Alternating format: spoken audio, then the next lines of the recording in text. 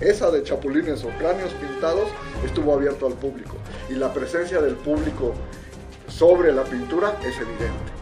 Este, algunos de ustedes conocen esas pinturas y tenemos presencia de grafitis de los visitantes, ¿no? Eh, el riesgo para la pintura es mayor y aprovechando, eh, o más bien con la situación de un temblor en 1973 se decidió la clausura de, de, ese recorrido a, estos, a estas pinturas.